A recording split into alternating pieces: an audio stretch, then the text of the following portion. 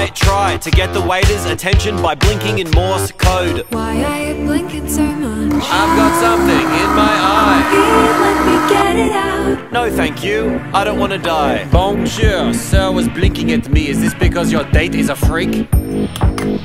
No. Very good then. Bon appetit. Stop hiding behind your silly made up red flag. To not take a chance on the best relationship you've never had. Maybe you're right, and I'm looking for excuses. My heart's got bruises, but I'm ready to choose this life. You can be my love, love of my life. One day we'll get married and be husband and wife with a tasteful ceremony and the wedding of our dreams.